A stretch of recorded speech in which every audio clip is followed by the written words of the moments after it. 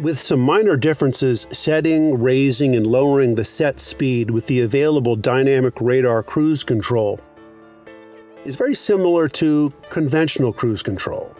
When active, the dynamic radar cruise control is also designed to slow the vehicle automatically when the system detects slower traffic ahead and helps maintain a preset distance.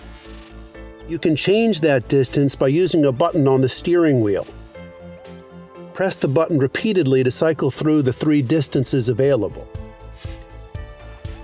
You can disable the distance holding feature by pushing the cruise control stalk forward and holding it until the indicator disappears and the conventional cruise control indicator lights up.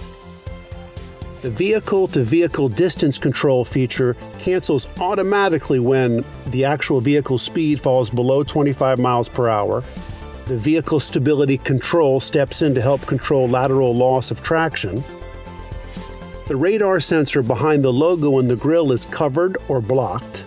The brake is applied, or the windshield wipers begin to run continuously.